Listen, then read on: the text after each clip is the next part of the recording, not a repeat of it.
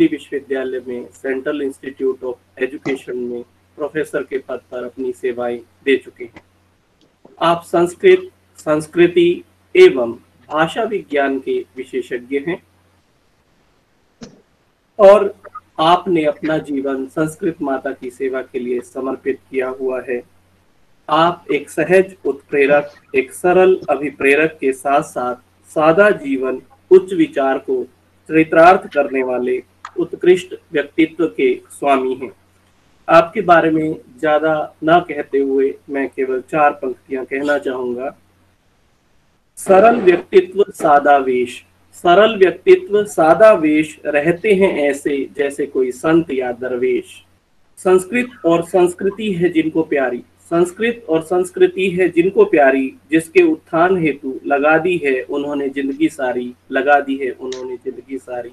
मैं आदरणीय परम श्रद्धे प्रोफेसर चाँद किरण सलूजा जी का पुनः हार्दिक स्वागत एवं अभिनंदन करता हूँ और उनसे निवेदन करता हूँ कि संस्कृत वांग्मय में नेतृत्व विषय में हमारा मार्गदर्शन कर हमारा हमें कृतार्थ करे। आदरणीय चाँद किरण सलूजा जी। धन्यवाद। सबको सादर नमस्कार। मैं सबसे पहले अपनी कृतज्ञता ज्ञापित करता हूँ कि इस अवसर पर आप सबसे बातचीत करने के लिए मुझे अवसर दिया है। हमारे पास बहुत सीमित समय होगा और उस सीमित समय में संपूर्ण संस्कृत वांग्मय को आपके समक्ष रखना स्वाभाविक है। न तो उचित होगा और न ही संभव हो पाएगा। हाँ कुछ मुख्य बिंदु अर्थात किस प्रकार से संस्कृत वांग्मय में नेतृत्व को और उसमें भी विशेष रूप से शैक्षिक नेतृत्व को प्रदर्शित किया गया है। कुछ बातें हम संकेत के रूप में लेंगे हाँ कुछ बातें ऐसी भी लेंगे जो आधुनिक युग में अपेक्षाएँ की गई हैं। चाहे वो वैश्विक स्तर पर की गई हैं अथवा विद्यालयों में भारतीय राष्ट्रीय आदि आदि परिस्थितियों में जिसकी कल्पना की गई है और विशेष रूप से कुछ बिंदु बहुत ही सुंदर रूप से राष्ट्रीय शिक्षा नीति 2020 में उठाए गए हैं, जिसमें कुछ हमारे आदर्श पुरुषों के, आदर्श व्यक्तियों के, आदर्श महिलाओं के नाम लिए गए हैं, जिसका अर्थ यह भी बनता है कि वे सभी एक नेतृत्व के रूप में हमारे समक्ष आते हैं। मन तो यही था कि सारे उद्धरण पढ़े जाते, लेकिन समय सीमा को देखते हुए मैं केवल उनके प्रति संकेत देता हुआ आगे बढ़ता चलूँगा। मैं आपका पुनः स्वागत करता हूँ और संस्कृत वांग्मय में हम नेतृत्व की चर्चा करने जा रहे हैं। साथियों, यह बात एक बहुत ही स्पष्ट है हमारे समक्ष कि संस्कृत वांग्मयम मूलता विशालम वांग्मयम तत्र वर्तते बहुत विशाल है।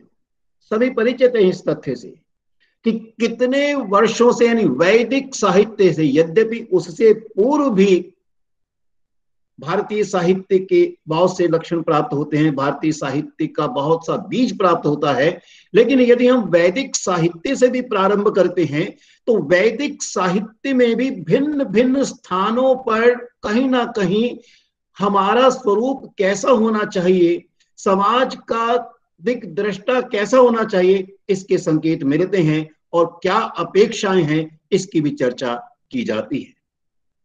जितने भी देव आते हैं, वो देव मूलतः एक नेतृत्व के प्रदानीकरण के ही प्रतीक हैं।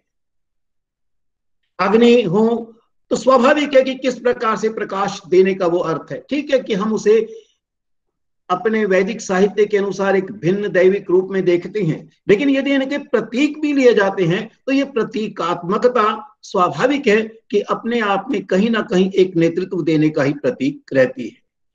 चाहे वो देवी के रूप में सरस्वती आती हैं या इंद्र आते हैं, अग्नि आते हैं, हर प्रकार से कहीं ना कहीं समाज के लिए एक दिग्दर्शन इनके द्वारा प्राप्त किया जाता है। लेकिन एक मुख्य बात कि समाज का स्वरूप कैसा हो?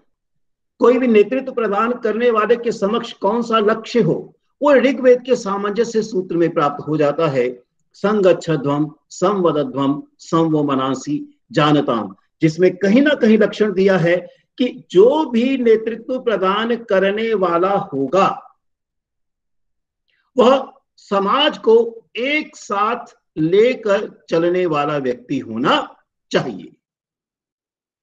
ऐसे अनेक संदर्भ इसमें आएँगे। कुछ सूक्तियाँ, कुछ कथन भिन्न भिन्न प्रकार के साहित्य से मैं आपके समक्ष रखूँगा और उसके द्वारा किस गुण की चर्चा की गई है अथवा किस प्रकार की कल्पना की गई है, उसे हम देखने का प्रयास करेंगे। हम यह भी जानते हैं कि वैदिक साहित्य का एक बहुत विशाल चित्र हमारे समक्ष आता है। वो उपनिषद के रूप में भी आता है और उपनिषदों के सार के रूप में गीता हमारे समक्ष आती है। महाभारत बुनियादी तौर पर संपूर्ण महाभारत कहीं ना कहीं एक नेतृत्व के रूप में ही हमारे समक्ष आ रहे हैं कि किस प्रकार का राजा होना चाहिए। अगर जैसा नहीं हो, वो धृतराष्ट्र के रूप में देने का प्रयास किया कि वो अगर उसकी आँखें बंद करवा दी गई हैं कि इस प्रकार का स्वार्थ व्यक्ति, स्वार्थी व्यक्ति हमें नहीं चाहिए। लेकिन महाभारत के ही अध्याय में जिस स्थित प्रज्ञ की, यानी गीता से संबद्ध जो खंड है, उसमें नेतृत्व का बड़ा ही सुंदर रूप हमारे समक्ष रखा गया है, स्थित प्रज्ञ के रूप में। और उसकी बहुत सुंदर व्याख्या योग दर्शन में भी आ जाती है, योग चित्त वृत्ति निरोधा के रूप में कि एक बहुत अच्छा गुण आ जाता है कि जिसे अपने सभी इंद्रियों पर नियंत्रण है, ये बहुत अनिवार्य तत्व बन जाता है हमारे समक्ष एक नेतृत्व प्रदान करने वाले का। वो जो संतुष्ट है, वो केवल बाहर का संतोष नहीं देखता है। आत्मने आत्मना तुष्ट आत्मनि एव आत्मना, यानी वो अपने कार्यों से अपने विभिन्न प्रकार की गतिविधियों से स्वयं संतुष्ट रहने का प्रयास करता है। इसी साहित्य के अंतर्गत जिस प्रकार के गुणों की चर्चा आती है, एक संकेत मैं वो आपके समक्ष रख रहा हूँ। फिर उनके कुछ श्लोकों के माध्यम से हम करेंगे। स्थित प्रज्ञा के माध्यम से ही हम देखते हैं व्यक्तित्व विकास की ओर भी जाता है कि व्यक्तित्व का विकास कैसे हो और बहुत ही सुंदर रूप से उपनिषद में एक बड़ा अच्छा संकेत मिलता है पंचकोशीय विकास की दृष्टि से कि प्रत्येक व्यक्ति में ऊर्जा उपलब्ध है। उस ऊर्जा का दर्शन कैसे कराया जाना चाहिए? हमारी राष्ट्रीय शिक्षा नीति 2020 के सिद्धांतों का जो पहला सिद्धांत है, यदि आप देखते हैं बेसिक प्रिंसिपल्स और फंडामेंटल प्रिंसिपल्स वो जो सिद्धांत है, वो यही दिया है कि बच्चे के भीतर की छिपी हुई ऊर्जा को पहचानना होगा, फिर वहाँ दो बातें कही हैं, अध्यापक ही नहीं, अभिभावक भी। और अभिभावक और अध्यापक केवल ऐसे ही नहीं, वहाँ बहुत स्पष्ट रूप से लिखा है सेंसिटाइजेशन अर्थात संवेदनशीलता चाहिए। जिसका एक सीधा अर्थ तो यह भी निकलता है कि बच्चे में ऊर्जा छिपी है।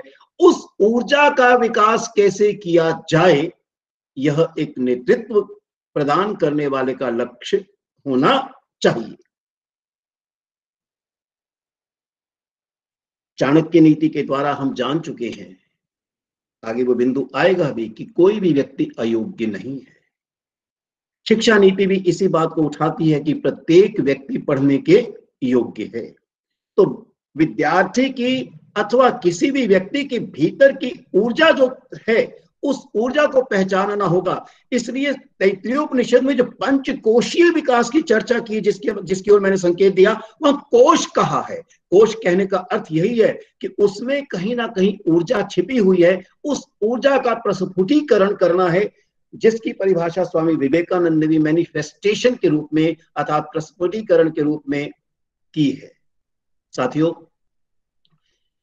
इसी के साथ साथ हम देखते हैं कि हमारे जित, यानी ये कहें कि प्राचीन भारतीय साहित्य में नेतृत्व का रूप दो दृष्टियों से हमारे समक्ष आ रहा है। एक तो ग्रंथों में से सैद्धांतिक रूप में कैसा होना चाहिए और उसका जो प्रकटीकरण भी है, उसका व्यवहारिक रूप क्या होना चाहिए वह व्यवहारिक रूप हमारे सामने रामायण के द्वारा, महाभारत के द्वारा अथवा अन्य लौकिक साहित्य के द्वारा दिखाया गया है। प्राय यह बात प्रसिद्ध ही कि राज्य की कल्पना राम राज्य की कल्पना के रूप में है और राम राज्य का अर्थ है किस प्रकार से राम नेतृत्व प्रदान करते थे कि कोई भी व्यक्ति प्रजा के रूप में असंतुष्ट न रह पाए। वही रामायण में हनुमान का भी जो उदाहरण है, वह भी अपने आप में एक नेतृत्व कुशलता प्रदान करने वाले के अर्थ में है। सुग्रीव का भी वही रूप आता है, रावण का भी वही रूप आता है। यानी जो जिन सिद्धांतों की चर्चा की गई है, उसका व्यवहारिक रूप काव्य के रूप में हमारे समक्ष रखा है। इसलिए जो महाकाव्य की संकल्पना काव्य शास्त्र में की गई है, जिसके कुछ बिंदु आगे मैं आपको बताऊँगा, उनमें भी किस प्रकार का नेतृत्व हो, इसकी चर्चा हमारे सामने आती है। भगवत गीता तो इसका एक मूल बिंदु है ही जिसकी चर्चा मैंने की, और आजकल भगवत गीता को नेतृत्व देने की दृष्टि से सबसे अधिक महत्व दिया जा रहा है। कुछ श्लोक आपके सामने हैं प्रजाति यदा कामान, सर्वान पार्थ मनोगतान आत्मने आत्मना तुष्ट, स्थित प्रज्ञ तदोच्यते यानी वो स्थित प्रज्ञ का भाव एक नेतृत्व प्रदान करने वाले का स्थिर भाव है। वो अपने लिए नहीं जीता, वो अन्यों के लिए जीता है।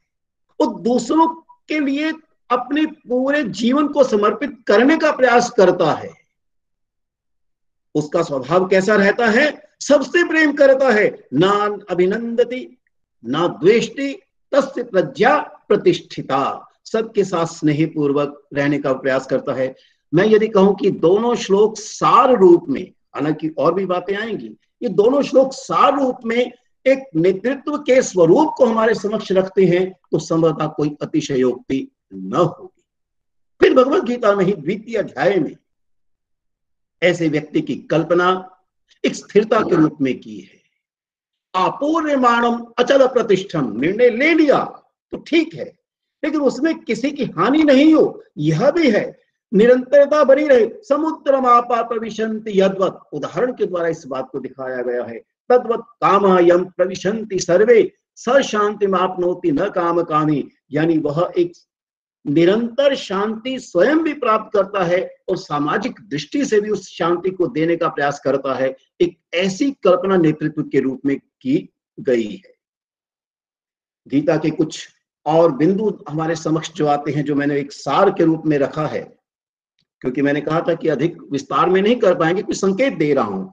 देखा हमने, आत्मनैव आत्मना तुष्ट दुखेशु अनुद्विग्न मना सुखेशु विगत वीतराग भय क्रोध सित धी ना विनंदती ना द्वेष्टि वशे ही इंद्रियाणी यस्य निस्प्रह निर्ममो, निरहंकारा ये सारे तत्व एक अच्छे नेतृत्व प्रदान करने वाले के साथ जुड़े हुए हैं। यही कारण है कि वहाँ कृष्ण अपने आप में हमारे समक्ष एक प्रेरक के रूप में आते हैं कि जो अर्जुन युद्ध छोड़ने की चर्चा कर चुका था, बहुत समझा दिया कृष्ण ने उनको। फिर भी बाद में कहता है कि चंचलम ही मना कृष्ण। इसे स्वीकार करते हैं। कृष्ण ने उसे मना नहीं किया, लेकिन कहा अभ्यास वैराग्य कौनते कहीं ना कहीं यह अभ्यास और वैराग्य के द्वारा आ सकते हैं। यानी एक प्रेरक के रूप में क्या कार्य होना चाहिए, नेतृत्व प्रदान करने वाले का, यह कृष्ण का बहुत अच्छा उदाहरण है, जहाँ रामायण में राम का उदाहरण हमारे समक्ष आता है, हनुमान जी का उदाहरण आता है, ऐसे ही कृष्ण का रूप भी आता है। युधिष्ठिर भी हैं, लेकिन कृष्ण मूलतः नेतृत्व प्रदान करने के रूप में है, क्योंकि वह अपने आप में संपूर्ण महाभारत अथवा संपूर्ण गतिविधियों का केंद्र हम, के रूप में हमारे समक्ष आते हैं। साथ ही हम अगर देखें, शैक्षिक नेतृत्व की दृष्टि से तो हमारा लक्ष्य जो प्रमुख रूप से है, वह एक अनुकूल प्रेरक परिवेश निर्माण के कौशल में व्याप्त है। अर्थात कोई भी नेतृत्व प्रदान करने वाला, चाहे वह अध्यापक के रूप में है अथवा प्रधानाचार्य के रूप में है, अथवा शिक्षा अधिकारी के रूप में है, अथवा यदि विश्वविद्यालय देखें तो कुलपति अथवा उपकुलपति के रूप में है, अथवा छात्र भी अपने आप में एक प्रेरक परिवेश निर्माण की दृष्टि से हमारे समक्ष आते हैं, जब विभिन्न प्रकार की गतिविधियों का भी नेतृत्व करते हैं। हाँ उनकी पहचान करनी होगी। जैसा मैंने कहा कि नूतन शिक्षा नीति जो हमारी आई 2020 की, उसका पहला बिंदु इसी पर निर्भर करता है और मानकर चलता है कि सभी लोग सीख सकते हैं और उसका लक्ष्य भी यही है कि सभी सीखें। आप जानते हैं, एक प्रसिद्ध विचारक हैं, सदगुरु के नाम से उन्होंने बहुत ही सुंदर एक बात कही है कि essentially leadership is the art and science of making things happen जो घटनाएँ घटनी है, उन्हें जो सिद्ध कर सकता है, जो घटाने में अपना संपूर्ण एक व्यक्तित्व प्रदान करते हुए प्रेरणा का रूप दे सकता है उसे एक नेतृत्व प्रदान करने की दृष्टि से हम मानकर चलते हैं। शिक्षा के संदर्भ में मैंने कहा कि पंचकोशीय विकास में चाहे वो चार शारीरिक दृष्टि से अन्नमय कोश है, प्राणमय कोश है, मनोमय कोश है, विज्ञानमय कोश है, अथवा आनंदमय कोश है जिसे हम आध्यात्मिक कोश के रूप में मानते हैं। हम मानकर चलते हैं कि विद्यार्थी में वह सम, वे सभी संपूर्ण विद्यमान है केवल उद्घाटन का प्रयास करना चाहिए। आपको ध्यान होगा उपनिषद में एक बहुत ही सुंदर कथा आती है आरुणी और श्वेत वेतु की। श्वेत केतु और आरुणी की कथा में यही बिंदु है वो एक बीज लाते हैं इसे तोड़ो वो कहते हैं इसमें क्या है? कहता है कुछ नहीं। कहता यदि कुछ नहीं है तो इतना बड़ा वृक्ष कैसे बन सकता है? यानी प्रत्येक व्यक्ति में वह शक्ति विद्यमान है उसकी पहचान करवानी है। मैंने रामायण की बात आपके सामने रखी। वहाँ भी यही उदाहरण आता है कि लक्ष्मण मूर्छित हैं, हनुमान जाते हैं, संजीवनी लेने जाते हैं। और उस समय बताया गया कि वो बूटी चमक रही होगी, संपूर्ण पहाड़ लेकर आते हैं। पहले उन्होंने सोचा कि मैं संभवता नहीं पा, कैसे पार करूँगा? लेकिन जामवंत गुरु के रूप में आते उसे प्रेरित करते हैं। वो एक उदाहरण कैसे दे सकते हैं कि किस प्रकार से व्यक्ति के भीतर ऊर्जा विद्यमान है और एक नेतृत्व प्रदान करने वाला उस ऊर्जा को किस प्रकार से महसूस करवा सकता है अनुभूति करवा सकता है? शिक्षक के रूप में हो अथवा किसी अन्य रूप में? कोई भी नेतृत्व जो संस्कृत साहित्य में आया है, वो प्रेरक के रूप में आया है, सूचक के रूप में आया है, वाचक अर्थात बहुत बार शब्दों के माध्यम से भी आया है, दर्शक के रूप में भी आया है, हर यानी जिसे कहें कि शिक्षक बोध कश्च एक इस प्रकार की प्रक्रिया हमारे समक्ष रखता है कि हम चिंतन करते हुए स्वयं ही उत्तर को ढूँढने का प्रयास कर लें। इसलिए बार बार कहा जाता है प्राचीन भारतीय साहित्य में, कार्य कैसे किया जाता है इस पर बल होना चाहिए, न कि उत्तर ज्यो का त्यों दे दिया जाना चाहिए। यह वर्तमान शिक्षा नीति भी कहती है, बच्चा केवल सीखे ही नहीं, वो यह भी सीखे, कैसे सीखा जाता है? नेतृत्व का अर्थ यही है, कैसे सीखा जाता है, इस बात को सिखाना। कितने सुंदर रूप में कुछ गुणों की व्याख्या की है प्राचीन भारतीय साहित्य में नेतृत्व के रूप में, कि नेता विनीतो, मधुरस्त्यागी, दक्ष, प्रियवद, रत्नलोक शुचिर वाग्मी रूढ़ वंश स्थिर, युवा। युवा का केवल आयु ही नहीं है, अपनी वैचारिक दृष्टि से युवावस्था का प्रश्न उठाता है और कहता है काव्य शास्त्र में एक नेतृत्व प्रदान करने वाले अर्थात जो भी नायक के रूप में आता है उसके भी भिन्न प्रकार से लक्षण बताए गए हैं कि चतुर्विधो असौ धीरो दात धीर ललित धीर प्रशांत मन, प्रशांत नामा ततश्च धीरो दत्त ख्यात। भाव यही है कि वह अपने आप में धी अर्थात जहाँ बुद्धि भी रखता है, वहाँ धैर्य की भी कल्पना उसके अंतर्गत की गई है। मैंने संकेत दिया था कोष की बात की है। कोष के अंतर्गत मैंने कहा है कहीं ऊर्जा विद्यमान है। और ईशोपनिषद ने इसे बहुत सुंदर रूप से हमारे सामने रखा है। कहीं ना कहीं जो सत्व है, उस सत्व को खोजना है, जिसकी चर्चा मैंने कहा कि राष्ट्रीय शिक्षा नीति 2020 अपने पहले सिद्धांत में करती है कि हिरणमयन पात्रेण सत्य हित मुखम पोषण अपावृणु, सत्य धर्म, सत्य धर्माय दृष्टि। अर्थात व्यक्ति के भीतर जो ऊर्जा समाई हुई है उसे देखने का प्रयास करना होगा। वो किसी एक सुनहरी चदर से ढकी हुई है। अर्थात हमारे विभिन्न प्रकार के गतिविधियों के कारण हम उसका दर्शन नहीं कर पाते हैं। उसे कहीं दूर करना होगा और उसके बाद उस सत्व को ढूंढकर, उस तत्व को ढूंढकर कहीं ना कहीं सिद्ध कराने का प्रयास करना पड़ेगा कि व्यक्ति में जो ऊर्जा है, कैसे उसका प्रस्फुटीकरण कराया जाए और यह प्रस्फुटीकरण कराने का जो बिंदु है, वो नेतृत्व के ऊपर निर्भर करता है। इसलिए स्वामी विवेकानंद जी का कथन आया था education is a manifestation of within जो भीतर है, उसका किस प्रकार से प्रकटीकरण हो सके? एक अद्भुत बात बताता हूँ, सर। डेलोर्स कमीशन जो राष्ट्रीय, जो वैश्विक स्तर पर शिक्षा की चर्चा करती है, इस शिक्षा का स्वरूप क्या हो इक्कीसवीं सदी का? उसकी जो रिपोर्ट है, उसका जो प्रतिवेदन है, उसका नाम अद्भुत है। इन आत्मनिष्ठ अधिगम अर्थात ऊर्जा संपूर्ण की संपूर्ण हमारे भीतर विद्यमान है। कैसे उसका प्रस्फुटीकरण करवाना है, इसकी चर्चा यह प्रतिवेदन करता है। जिसे प्राचीन भारतीयों ने आत्मनिष्ठता के साथ जोड़ा है। और यह बात प्राचीन भारत की 21वीं सदी की शिक्षा हेतु यह प्रतिवेदन कर रहा है इसका अर्थ है कि नेतृत्व प्रदान करने वाला उस भीतरी ऊर्जा को कैसे प्रस्फुटित करवा सकता है, इस पर निर्भर करता है इसी प्रतिवेदन में कहा गया है, the commission affirms its belief that education has a fundamental role to play in personal and social development. Personal and social अर्थात इसी बात को भारतीय साहित्य में व्यष्टि और समष्टि के रूप में कहा गया व्यष्टि स्वयं एक व्यक्ति का व्यक्तित्व है। समष्टि पूर्ण समाज का है, जिसकी चर्चा मैंने संकेत दिया था, ऋग्वेद में आई है, जो आगे भी हम उसे थोड़ा और देखेंगे कि किस प्रकार से संगच्छध्वम संवधम संव मनांसी की चर्चा के माध्यम से इसे उठाने का प्रयास किया है।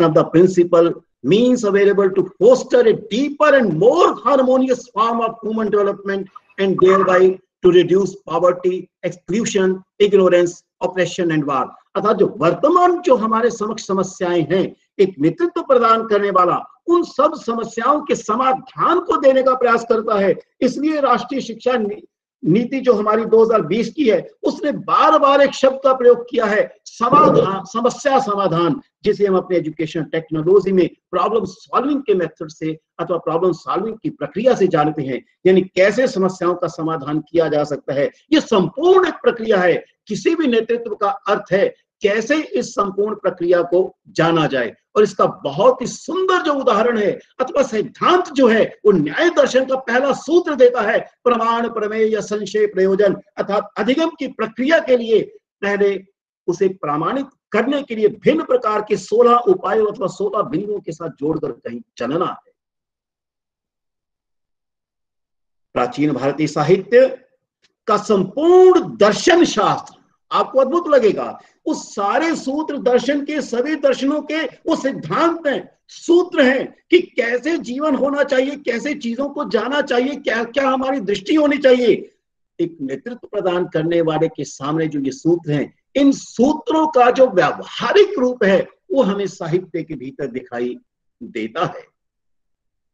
इसी रिपोर्ट में learning to know learning to do learning to live together learning to be एक नेतृत्व प्रदान करने वाले के चार गुणों की चर्चा करती है कि वह उसका संज्ञान करवाने का प्रयास करे, उसे कर्म के प्रति प्रेरित करे, वह मिलकर रहने की भावना का विकास उनके साथ रहकर करे और मानव बनने की चर्चा करे। मानव बनने की दृष्टि से उसे मानवीय धर्म के रूप में देखा गया है और कितने सुंदर रूप से हमारा प्राचीन साहित्य इसके दस गुणों को बताता है।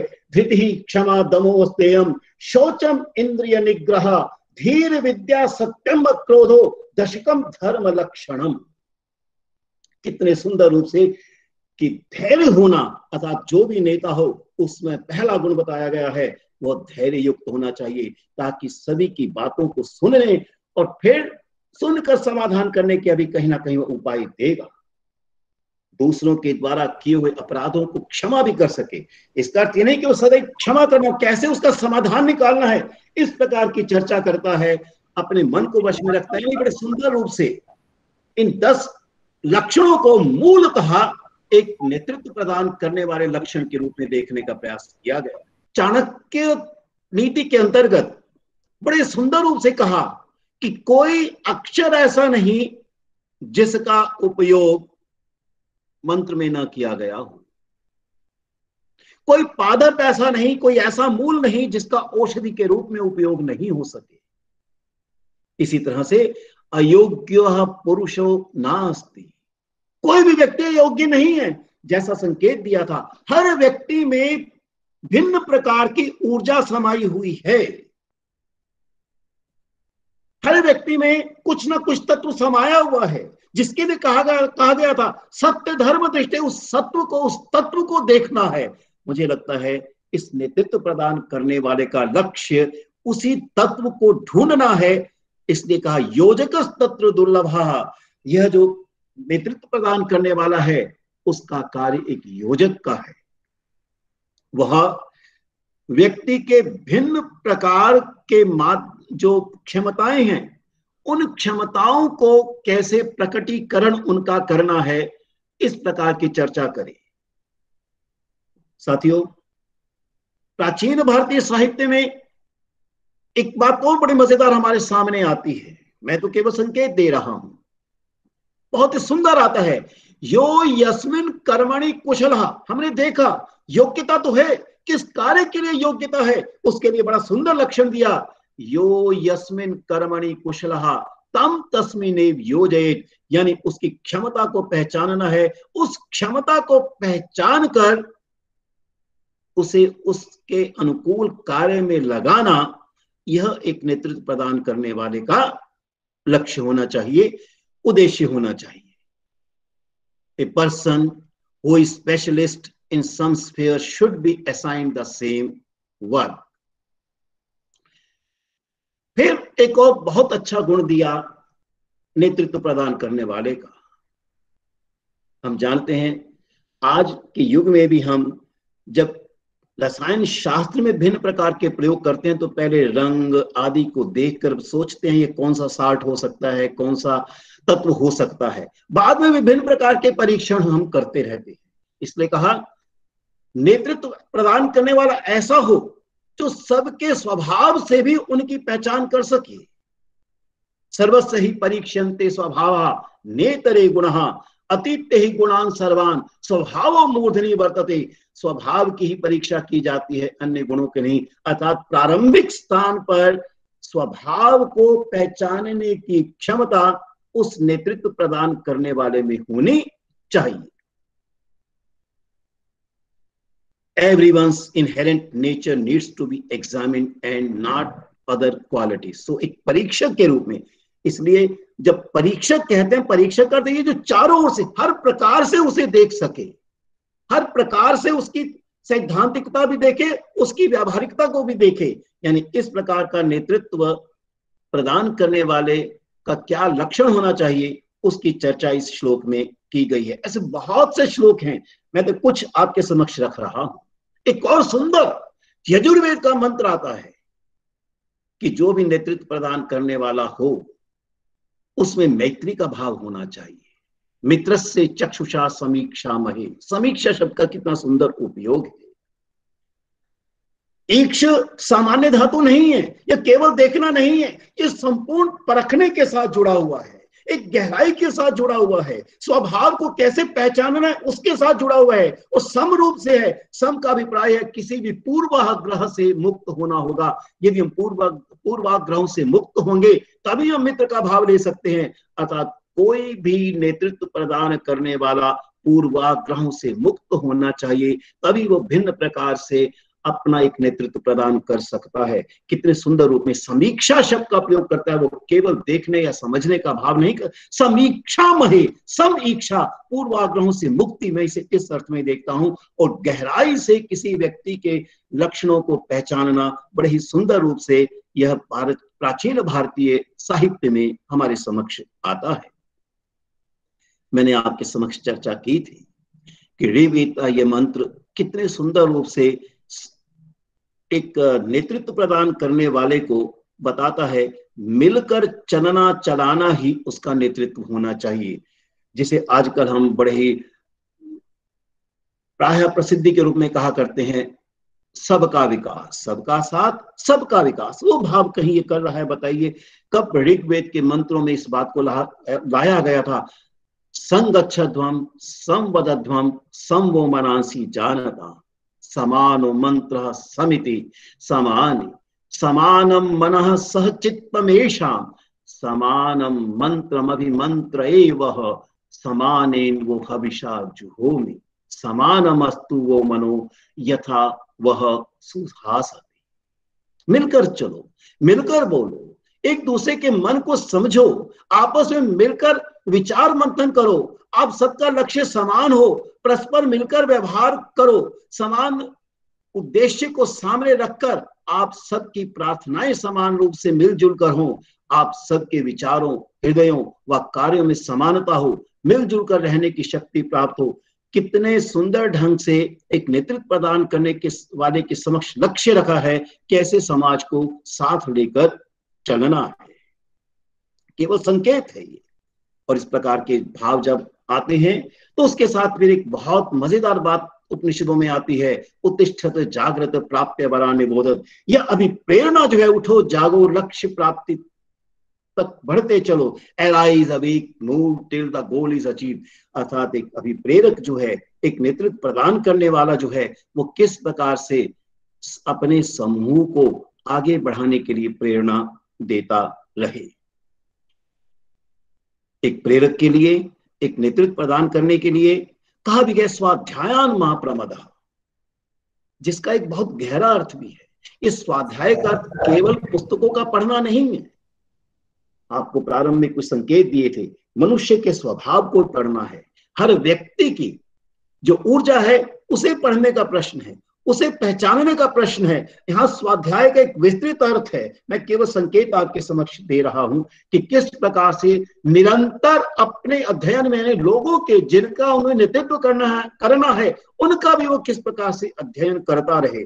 और बाद में वो आचार्य के रूप में इसलिए प्रतिष्ठित हुआ है कि वह अपने आचरण के द्वारा ही सबको बताता है। शब्दों का उसे बहुत अधिक उपयोग करने की आवश्यकता नहीं पड़ती है।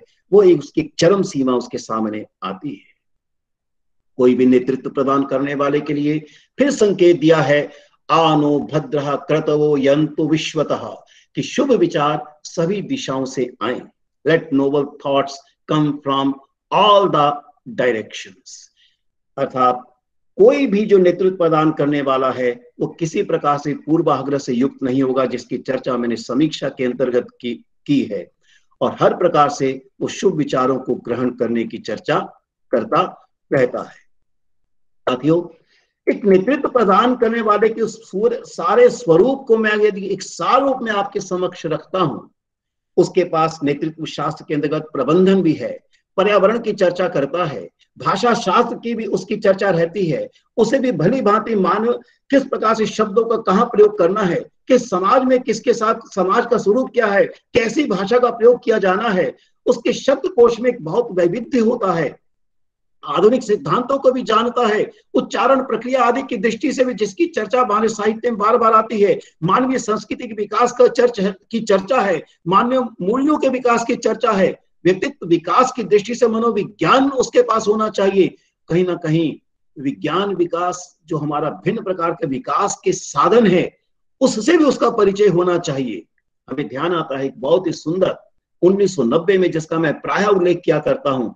प्राचीन हमारे वर्तमान काल में 1990 में एक समिति आई, एक समिति गठित हुई थी, जिसका एक प्रतिवेदन था towards women and enlighten society सजग मानवीय समाज की ओर, आचार्य राममूर्ति जी की अध्यक्षता में उस समिति का गठन किया गया था, जिसका अर्थ यह निकलता था, शिक्षा ऐसी हो, जो एक सजग मानवीय व्यक्ति का निर्माण करे। नूतन शिक्षा नीति भी जो हमारी है, वो एक बहुत बात स्पष्ट कहती है, इंसानियत को जो कहीं ना कहीं व्यक्ति में उत्पन्न करे। इस नीति में तक्षशिला, नालंदा आदि का वर्णन किया गया, जो एक मूल रूप से नेतृत्व प्रदान करने की दृष्टि से ही हमारे सामने आते हैं। इस प्रकार से सार रूप में यदि हम कहते हैं, नेतृत्व प्रदान करने वाले के पास तीन गुणों का उल्लेख किया गया है, श्रवणम, मननम निधि ध्यासनम वह चीज़ों को जाने, उन पर विचार करे, उन पर मंथन करे और फिर उनका अनुप्रयोग भी करे। अर्थात व्यावहारिकता उसका क्या होनी चाहिए, इस पर भी उसे कहीं ध्यान देने की आवश्यकता है। तो इस प्रकार से हम सार रूप में कह सकते हैं, समय को ध्यान में रखते हुए मैं इसे बंद करने जा रहा हूँ, लेकिन अंत में एक सार आपके समक्ष रखता हूँ कि कोई भी नेतृत्व प्रदान करने वाला स्थित प्रज्ञ हो परिवेश निर्माण की चर्चा करता हो, अर्थात जैसे एक बीज के लिए, बीज में शक्ति तो है ही, उसे प्रस्फुटित होना है, परंतु खाद, पानी आदि देनी होगी। ठीक इसी प्रकार से वह भी परिवेश का निर्माण करता है, वो व्यक्ति के गुणों की पहचान कर सके, आपस में मिलजुल कर रहने और उनके अभिवर्धन की ओर ध्यान दे सके, मैत्री का भाव हो, कर्तव्य भावना हो, मानवीय गुणों के प्रति उसकी निष्ठा हो, विनम्रता से वह युक्त हो इस प्रकार का नेतृत्व जब आता है तो स्वाभाविक है समाज मिलजुल कर रहना प्रारंभ करता है। संकेत रूप में मैंने कुछ बातें आपके समक्ष रखी हैं, और एक संकेत यह भी दिया था, सैद्धांतिकता हमारे साहित्य में दर्शनों में आई है, और उसका व्यावहारिक रूप काव्य के रूप में आया है, जो महाकाव्य के अंत, महाकाव्य के निर्माण के अंतर्गत और नाटक नाट्य शास्त्र में नायक कैसा होना चाहिए, बुनियादी तौर पर वह एक नेतृत्व प्रदान करने वाले की दृष्टि से ही उस बात को हमारे समक्ष रखा है। इतनी बात कहकर मैं समाप्त करता हूँ, क्योंकि बाद में कुछ परिचर्चा के लिए समय देना है। यहाँ समाप्त करते हुए कुछ संकेतों को देते हुए मैं आपके समक्ष आपको पुनः धन्यवाद करते हुए पुनः अपनी कृतज्ञता ज्ञापित करता हूँ। धन्यवाद। गुरु जी, हम आपके बहुत बहुत आभारी हैं कि बहुत सहज, सरल और जो है बोध गम्य तरीके से आपने हमें जो है संपूर्ण संस्कृत वांग्मय के नेतृत्व संबंधी गुणों से अवगत कराया। उसके लिए मैं अपने शिक्षण अधिगम केंद्र की ओर से आपका हार्दिक आभार व्यक्त करता हूँ।